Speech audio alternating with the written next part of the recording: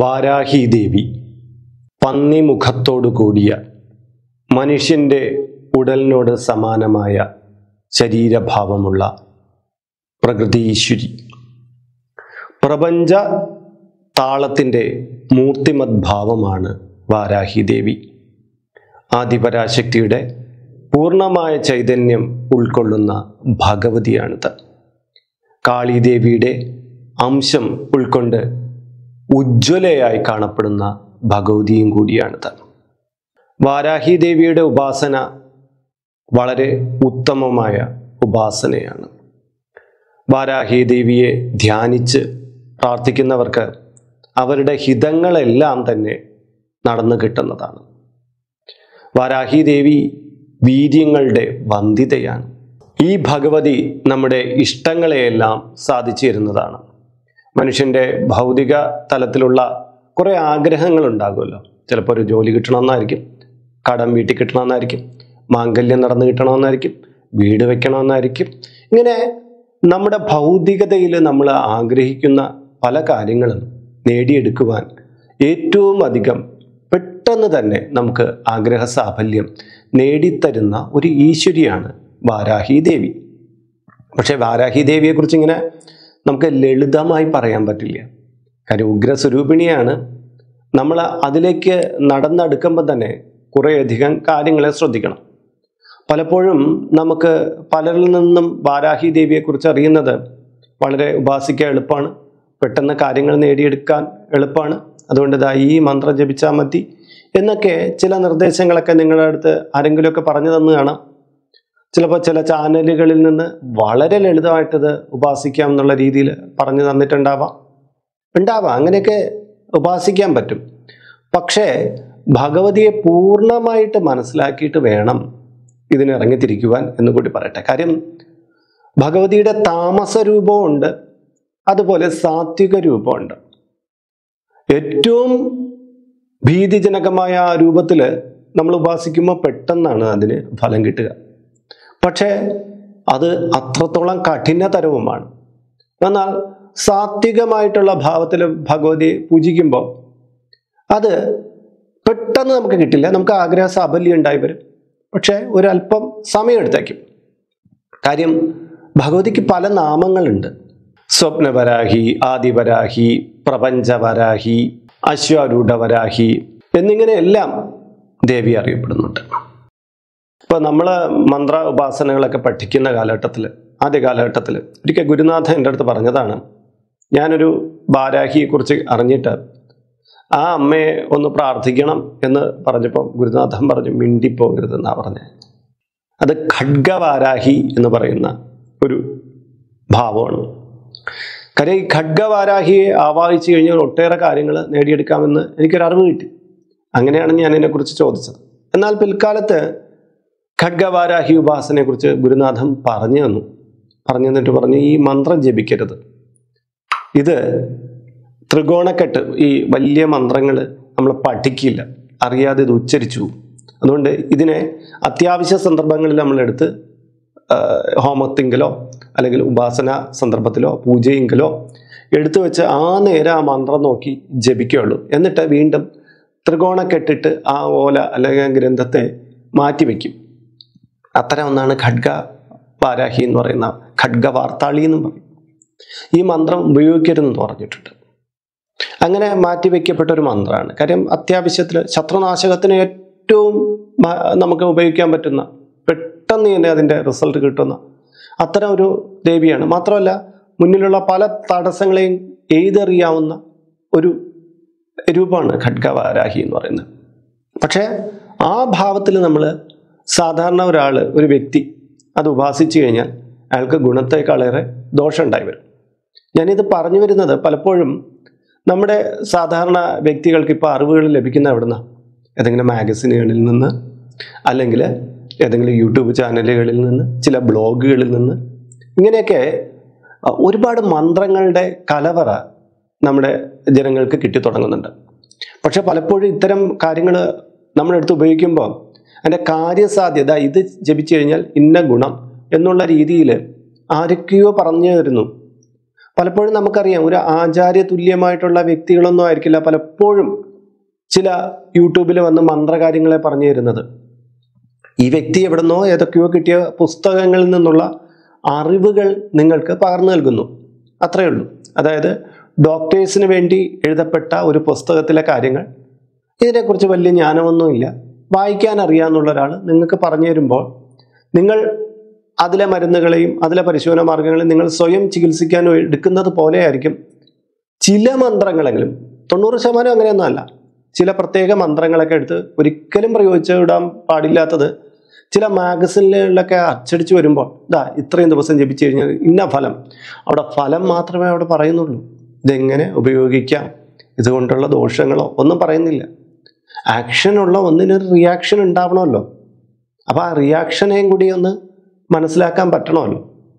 അപ്പോൾ ഇന്നത്തെ വീഡിയോയിലൂടെ വാരാഹി ദേവിയെക്കുറിച്ചുള്ള നിങ്ങൾക്ക് അറിയേണ്ടുന്ന കുറേയധികം കാര്യങ്ങളെ ഞാൻ പറഞ്ഞുതരും.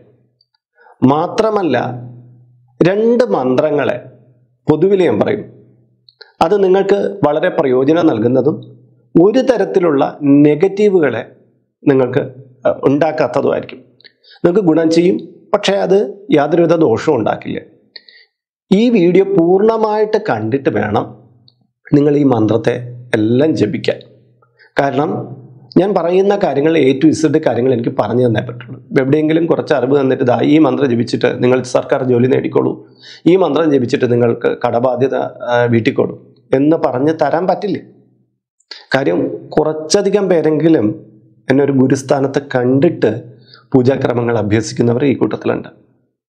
അതുകൊണ്ട് തന്നെ കാര്യങ്ങളെ പൂർണമായിട്ട് ഞാൻ പറഞ്ഞു തരുമ്പോൾ ക്ഷമയില്ലാത്തവർ ഇവിടെ നിന്ന് തന്നെ ഈ സെക്കൻഡിൽ തന്നെ വീഡിയോ സ്കിപ്പ് ചെയ്തു പോവുക.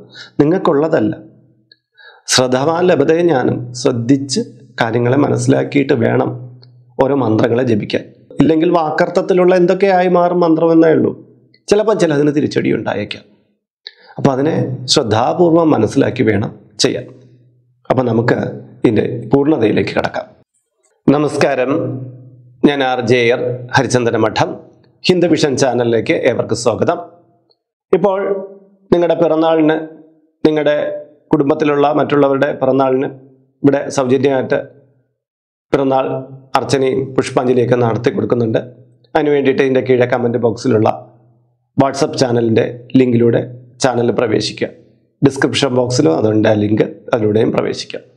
പിന്നെ ഈ വീഡിയോ കണ്ടുകൊണ്ടിരിക്കുന്നവർക്ക് ഇവിടെ നടക്കുന്ന പൂജാ പ്രാർത്ഥനകളിലൊക്കെ പങ്കുകൊള്ളാൻ അവസരമുണ്ട്. ഇതിന്റെ കീഴെ കമന്റ് ബോക്സിൽ നിങ്ങളുടെ പേര് നിങ്ങളുടെ വയസ്സ് നിങ്ങളുടെ നക്ഷത്രം ഇവ രേഖപ്പെടുത്തിയാൽ മതി.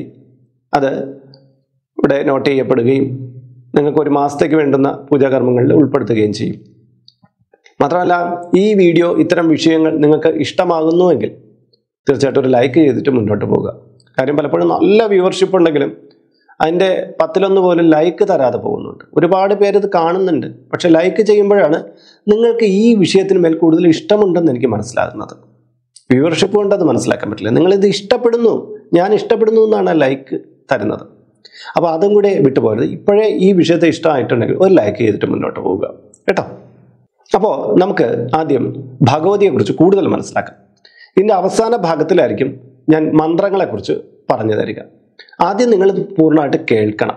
കേൾക്കാതെ ഓടിച്ച് സ്കിപ്പ് ചെയ്ത് പോകരുത് എന്നൊരു അഭ്യർത്ഥനയുണ്ട്.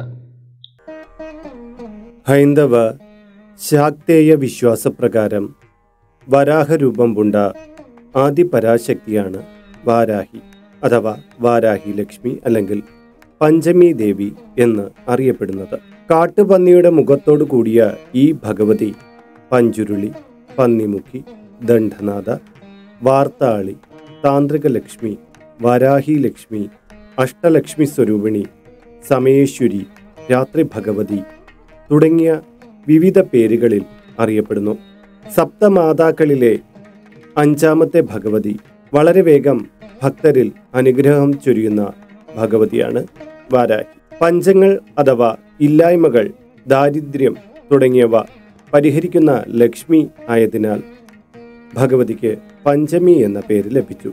വിഷ്ണുവിന്റെ വരാഹ അവതാരത്തിന്റെ ശക്തിയായി വാരാഹി ആരാധിക്കപ്പെടുന്നു. മഹാലക്ഷ്മിയുടെ താന്ത്രിക രൂപമായ ഈ ഭഗവതി എട്ട് വിധത്തിലുള്ള ദാരിദ്ര്യവും ഇല്ലാതാക്കുന്നവളാണ്.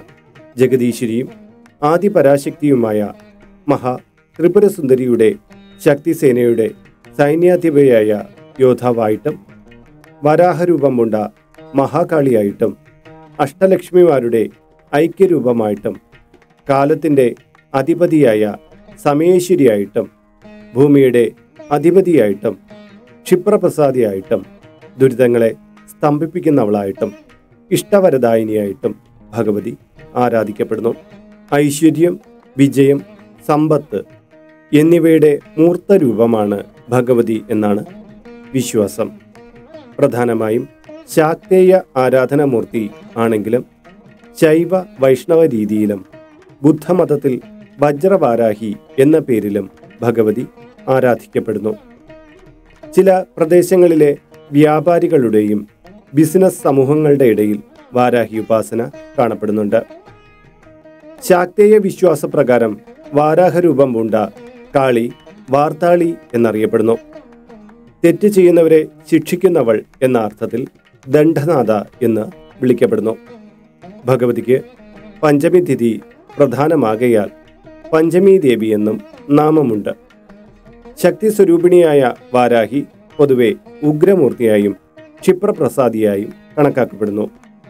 വാരാഹിയെ ആരാധിക്കുന്നവർക്ക് സമ്പത്ത് ഉയർച്ച ശത്രുദോഷ ശാന്തി ആഗ്രഹപൂർത്തി എന്നിവ ഫലം എന്ന് വിശ്വസിക്കപ്പെടുന്നു. രാത്രിയാണ് വാരാഹി ദേവിയെ ആരാധിക്കുന്നത്. പഞ്ചമി തിഥിയിലെ രാത്രി വാരാഹി ദേവിക്ക് അതിവിശേഷമാണ്. ലളിതാ സഹസ്രനാമത്തിൽ പഞ്ചമി പഞ്ചഭൂതേഷി പഞ്ചസംഖ്യോപചാരിണി എന്ന് വാരാഹി ദേവി ലളിതാംബികയുടെ കയ്യിൽ വിളങ്ങുന്ന ശത്രുനാശിനിയായ പഞ്ച ആയുധങ്ങൾ ആകുന്നു. ധ്യാനസ്വരൂപത്തിൽ അഞ്ചു മുഖങ്ങളോട് കൂടിയ ഭഗവതിയാകുന്നു. പഞ്ചമി ദേവി അഥവാ വാരാഹി ജലം വായു അഗ്നി ഭൂമി തുടങ്ങിയ പഞ്ചഭൂതങ്ങളിൽ വസിക്കുന്ന ആദിപരാശക്തിയും വാരാഹി തന്നെ. ദുർഗാദേവിയുടെ അഥവാ കൗശികയുടെ രൂപഭേദങ്ങളാണ് സപ്തമാതാക്കൾ. ഭഗവതി തന്റെ ജഡ നിലത്തടിച്ചപ്പോൾ സപ്തമാതാക്കളുണ്ടായി എന്നും കഥയുണ്ട്. ദാരിക നിഗ്രഹത്തിനായി അവതരിച്ച ഭദ്രകാളിയുടെ സൈന്യത്തിലും വാരാഹി ഉൾപ്പെടുന്നു. മാർക്കണ്ഡേയ പുരാണത്തിലെ ഭദ്രോൽപത്തി പ്രകരണത്തിൽ ദാരികവധം കഥ പ്രസിദ്ധമാണ്. ദാരികവധത്തിന് വേണ്ടി ദേവന്മാരുടെ ശരീരത്തിൽ നിന്നും ആദ്യം ആറ് ശക്തികൾ ഉണ്ടായി. ബ്രാഹ്മി വൈഷ്ണവി മഹേശ്വരി കൗമാരി വാരാഹി ഇന്ദ്രാണി എന്നിവരായിരുന്നു ആറ് മാതാക്കൾ. എന്നാൽ ഷഡ്മാതാക്കൾ ദാരികന് മുന്നിൽ പരാജയപ്പെട്ടു. ഒടുവിൽ ശിവനേത്രത്തിൽ നിന്നും ശ്രീ ഭദ്രകാളി അവതരിച്ചു. ഭദ്രകാളി അഥവാ ചാമുണ്ടി ഉൾപ്പെടെ ഏഴ് ദേവിമാരെയും ചേർത്ത് സപ്തമാതാക്കൾ എന്ന് വിളിക്കുന്നു. ഇക്കൂട്ടത്തിൽ വാരാഹിയും ഉൾപ്പെടുന്നു.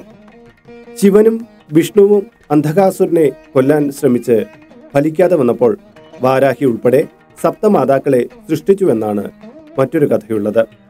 അടർക്കളത്തിൽ വീഴുന്ന അന്ധകാസുരന്റെ രക്തത്തിൽ നിന്നും വീണ്ടും അന്ധകൻ ജനിക്കയാൽ സപ്തമാതാക്കൾ അന്ധകന്റെ രക്തം പാനം ചെയ്യുകയും അങ്ങനെ ശിവനും വിഷ്ണുവും അന്ധകനെ വധിക്കുകയും ചെയ്തു. ഹൈന്ദവ വിശ്വാസപ്രകാരം താന്ത്രിക പദ്ധതിയിൽ ഭൂമിദേവി സങ്കല്പവും വാരാഹിയാകുന്നു ബുദ്ധിസ്റ്റ് തന്ത്രയിൽ വജ്രവാരാഹിയായി ആരാധന നടത്താറുണ്ട്. വാമാചാരപ്രിയയാണ് ദേവി. അതിനാൽ ദേവിയെ വാമമാർഗത്തിൽ പൂജിക്കപ്പെടുന്നു. വാമമാർഗ സ്വരൂപിണിയായ ദേവി മത്സ്യവാരാഹി എന്ന ഭാവം ആകുന്നു. ഒരു കൈയിൽ മധുപാത്രം മറുകൈയിൽ മത്സ്യവുമായ ഭാവം. വളരെ രഹസ്യാത്മകതയുള്ള ഉപാസനയാകുന്നു ഇത്. ഭഗവതിയുടെ താന്ത്രിക സമ്പ്രദായത്തിൽ ദേവി അനാഹത ചക്രസ്ഥിതയാകുന്നു.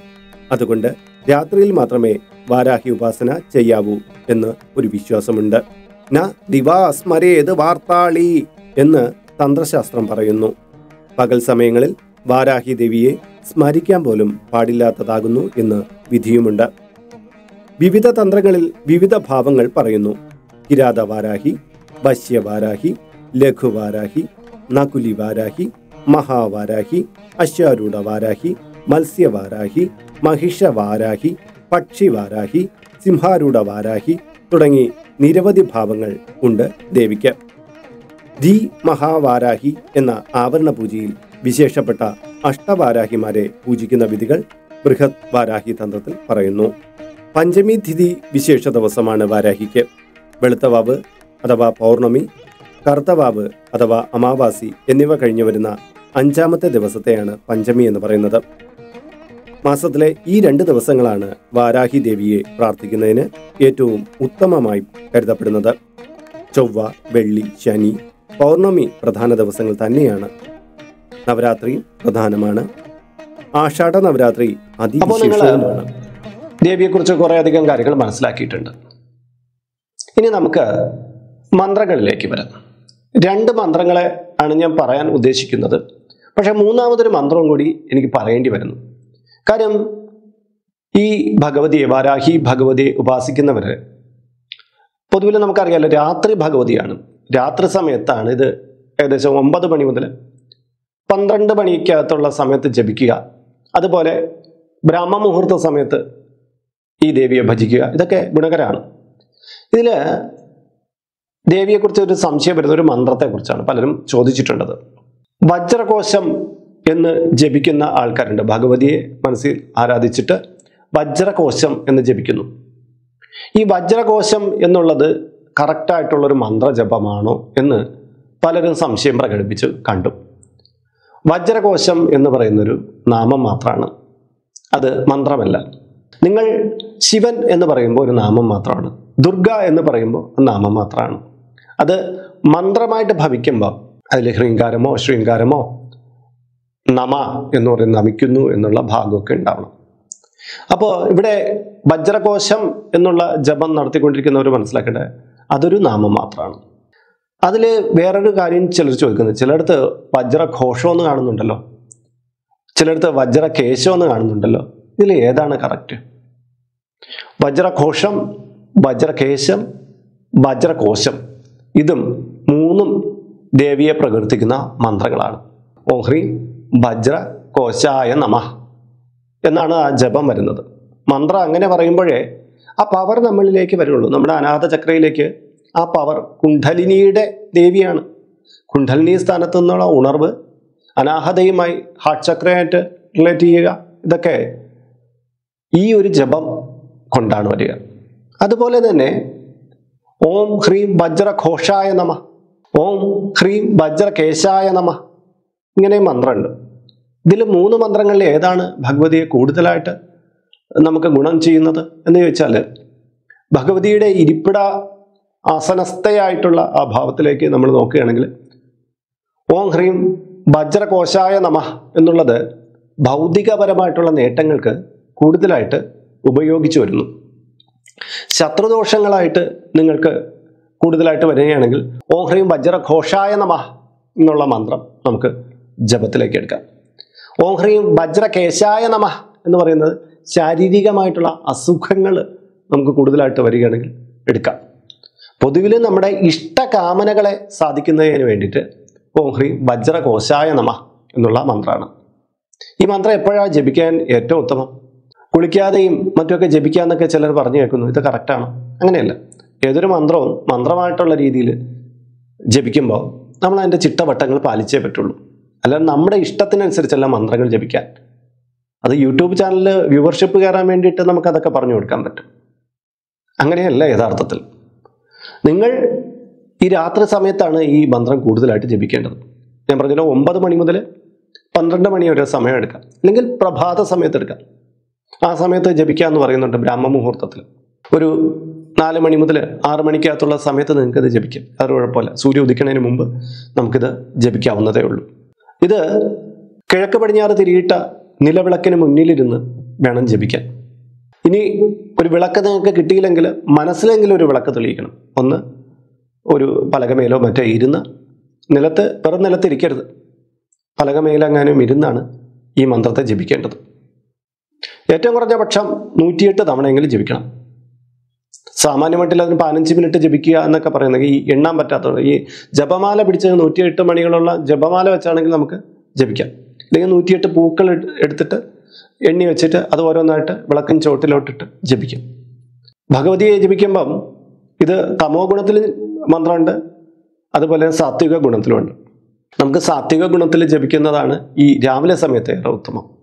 തമോ ഗുണത്തിൽ രാത്രി സമയത്ത് കൂടുതലായിട്ട് ജപിക്കാം. അത് ഉഗ്രഭാവമാണ്. പക്ഷേ ഇവിടെ ഉപാസന കർമ്മങ്ങളെ കുറിച്ചൊന്നും ഞാൻ പഠിപ്പിക്കുന്നില്ല. സാധാരണക്കാരാണ് ഇതിൽ ഏറ്റവും കൂടുതൽ കാണുന്നത്. അപ്പോൾ സാധാരണക്കാർക്ക് വേണ്ടിയിട്ടുള്ള മന്ത്രങ്ങളെ ഞാൻ ഇവിടെ ഉൾപ്പെടുത്തുന്നുള്ളൂ. ഇതിന്റെ തീവ്രമായിട്ടുള്ള കുറച്ചധികം മന്ത്രങ്ങളുണ്ട്. അതൊന്നും ഞാനിവിടെ പറയുന്നില്ല. പിന്നെ ഇതിൽ രാത്രി സമയത്ത് തന്നെ നഗ്നമായിട്ടിരുന്ന് ജപിക്കുന്ന മന്ത്രമുണ്ട്. കാമതമായിട്ടുള്ള മന്ത്രം. അത് വശ്യപ്രയോഗങ്ങൾക്ക് ഉപയോഗിക്കുന്ന മന്ത്രമാണ്. വശ്യവാരാഹി. അത് മനുഷ്യർ നഗ്നമായിട്ടിരുന്ന് ചെയ്യുന്ന മന്ത്രമാണ് കുടുംബസൗഖ്യത്തിന് ഒരാളെ വശീകരിക്കാൻ. അങ്ങനെയൊക്കെ ഉണ്ട്. അതൊന്നും നമ്മളിവിടെ പറയുന്നില്ല. സ്വപ്നവാരാഹി മന്ത്രം. ചില സമയത്ത് ഞാൻ പറഞ്ഞു തന്നിട്ടുണ്ട് ഈ സ്വപ്നം കണ്ടിട്ടുള്ള ദോഷങ്ങൾ മാറ്റാൻ വേണ്ടിയിട്ട് നമ്മൾ ജപിക്കാറുണ്ട്. ഓഹ്രീം ഹ്രീം സ്വപ്നവാരാഹി മമ ദുസ്വപ്നദോഷ ദുർഫലം നിവാരണമിതം സ്വഹാനമ എന്തിനാണ് ഈ നമ്മളൊരു പേടി സ്വപ്നം കണ്ടു കഴിഞ്ഞാൽ ആ പേടി സ്വപ്നം കണ്ടു കഴിഞ്ഞ് രാവിലെ നമ്മളിത് ജപിച്ചു കഴിഞ്ഞാൽ ഏഴ് ദിവസത്തിനുള്ളിൽ ജപിച്ചാലും മതി.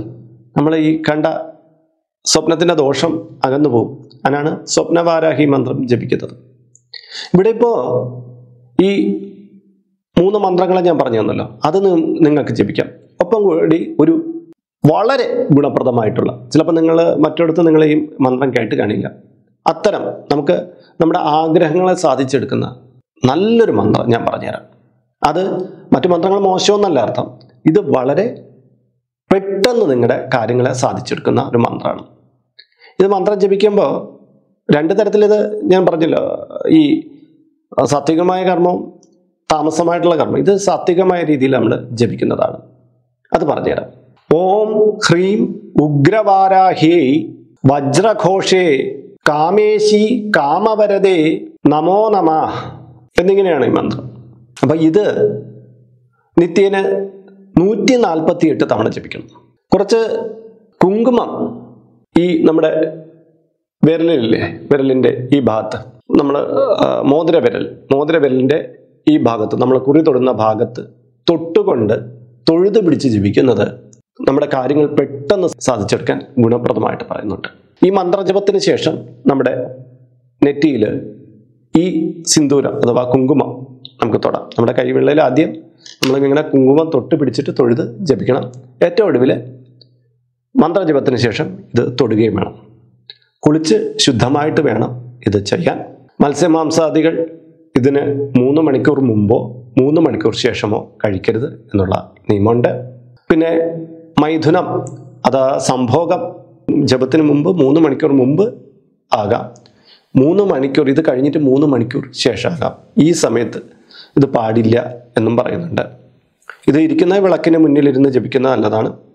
ഈ കുങ്കുമം തൊട്ട് ജപിക്കുകയാണെങ്കിൽ നിങ്ങൾ വിളക്കിന് മുമ്പിലിരുന്ന് കുങ്കുമം തൊട്ട്. അല്ലാതെ നിങ്ങൾക്ക് വിളക്ക് ഇല്ല. അങ്ങനെ ഒരു സന്ദർഭം ഉണ്ടെങ്കിൽ നിങ്ങൾക്ക് തൊഴുത് പിടിച്ച് ഇരുന്ന് ജപിക്കാം. മനസ്സിൽ ജപിക്കാം. ഇരിക്കുമ്പോൾ നേരെ നിലത്തിരിക്കരുത്.